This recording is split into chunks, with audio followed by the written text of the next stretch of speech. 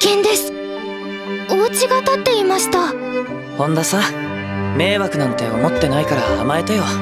よう首洗って待ってたか？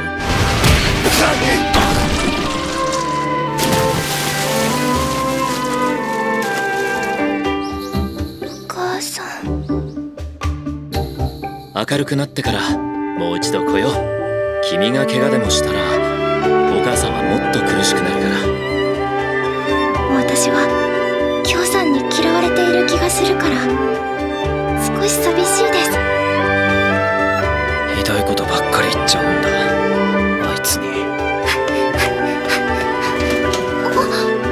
相馬くん今朝はどうもですこちらこそ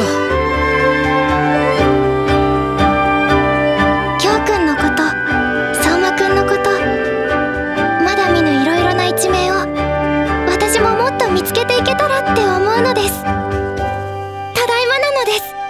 私の新しい家族さんたち。